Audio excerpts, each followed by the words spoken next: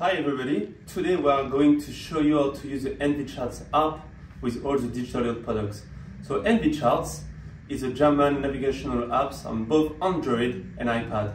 The great things with NV-Charts is they do paper charts and if you buy any paper charts for Europe, UK, US, the Caribbean, they will give you a code to get the app for free. Can download the charts on your app. And NV-Charts is actually the only company doing that where if you buy the paper charts, you as well can get for free the digital charts.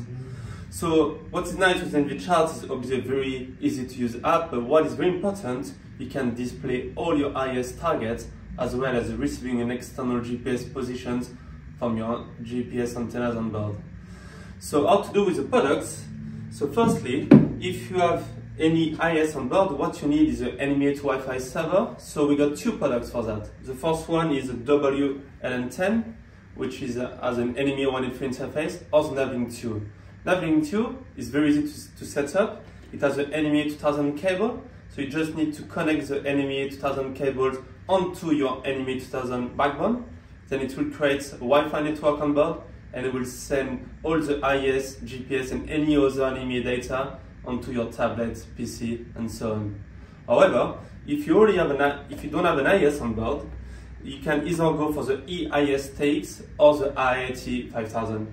So the EIS-TX is a very easy to use AIS transponder with built-in Wi-Fi only, or the AIT 5000, which is the most complete AIS transponder on the market, has a built-in VHF zero-loss splitter, as well as all the NMEA interface and Wi-Fi.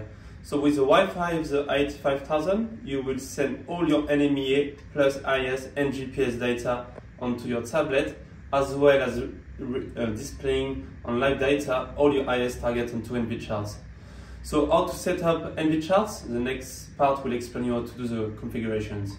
So now you can see all the live AIS targets onto NV-Charts. So NV-Charts can display both Class B and Class A AIS targets. The the light blue are the class B targets and the dark blue is the class A targets. If you touch any targets, you will receive more informations about the targets. Informations like dimensions, VHF call sign, speed, CPA, etc. So to receive AIS targets, go to Settings, then GPS AIS. Onto that sections, you can then choose to receive GPS positions from an external GPS. You can also show AIS class A or class B, the AIS track, but most importantly, you can also set up collision alarms CPA and TCPA with the distance or the times.